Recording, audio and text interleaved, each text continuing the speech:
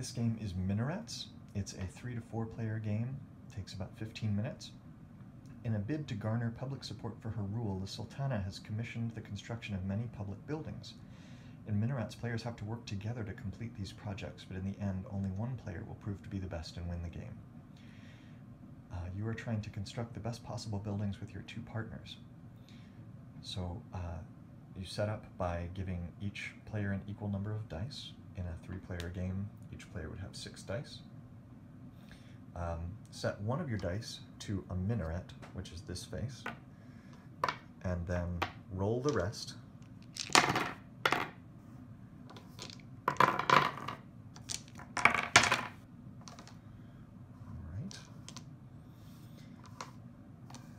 Now make sure that you leave space between the players because this is where the buildings will be built. There will be one building here, one building here, and one building here. The player who most recently built something goes first. On your turn, take a die from another player's die pool. If there's no place to legally place a die in one of the buildings on your left or your right, let's say I'm this player right here, then you would take a die and you re-roll it until it can be placed. Um, if there are no dice left in the other player's pools, then you take the dice from your own pool. Um, you add a die that you chose from one of the other player's pools like this. So you would take the die, you're looking at the top face of the die, and what you're going to do is you're going to turn it because this is now the side of the building that we're looking at. All right, so let's move that one a little bit closer. So this is the side of the building that we're trying to build on this building right here. This player has taken their turn. Now this player takes a turn and they choose one of the dice from here or here. Let's say they choose this and they're using this face, which we can't see because they're going to turn it away from us, but they're going to place it to their right or their left. So they could place it here or they could place it over here. Let's say they place it over there because then we can at least take a look at it. Uh, and then this player's turn is next. They take a die from here or here. Uh, let's say they take this one and they place it right here. They're going to place it on their right or their left. It's their choice. Um, you continue going around the table. Let's see, so uh, the die faces can't be changed, but you can change the orientation. So you could place this like this, or you could place this like this, if you were going to attach this to this building. Um, this player wouldn't be able to take one of their dice, but let's say this player would take this one and attach it to the building. They could place it like that, they could place it like this if they wanted. Um, they can rotate this as they want, but they have to use this die face because that was the one that was upright. They have to be placed directly on the table or stacked on top of each other. Um, each die that's next to another die becomes part of the same building.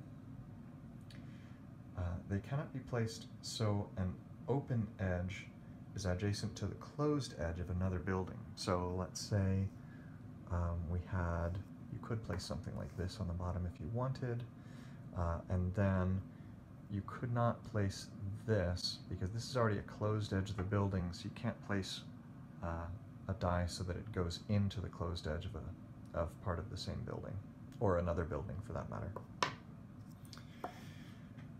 Alright, the game ends when all of the dice have been taken from the player's dice pools and added to the buildings, and then we score. So now we're going to score these three buildings.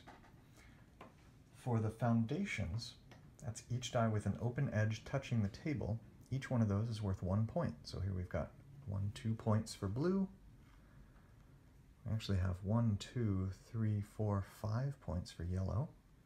And then we have one, two, three points for black. That's for the foundations. And for the minarets, each one of those is worth one point for each die below it. So in this case, this is worth one point for blue. This minaret right here is worth nothing because there are no dice below it. This one is worth two points for black. Then for unfinished construction, each open edge not connected to another die or the table is a penalty of one point. So here for blue, we've got one, two, three, four, five open edges. So it goes actually from 3 down to negative 2 here. Um, for yellow, we actually have no open edges. And for black, we also have no open edges. Then we go for the highest building, which gets a bonus of 5 points. And that is blue. Um, tied buildings all get that bonus. So if someone else had gotten up to, to if another building had gotten up to four dice, then that they would have both gotten the, the five points. But so blue comes right back up to those three points. Then the widest building gets a bonus of two points. And here we've got yellow gets a bonus of one, two points. And that is the end of the game. Your score is the lower of the two buildings you helped to build. Uh, if that's a tie, then you look at the, the, um, the higher of the two buildings. If there's still a tie, then the tied players share the win. So in this case, whichever was the player who was building the uh, black and the yellow buildings would be the winner because their lower score is the black building. Um, whoever was building the yellow and the blue, their lowest score was blue, and whoever was building the black and the blue, their lowest score was also blue. And that is minarets.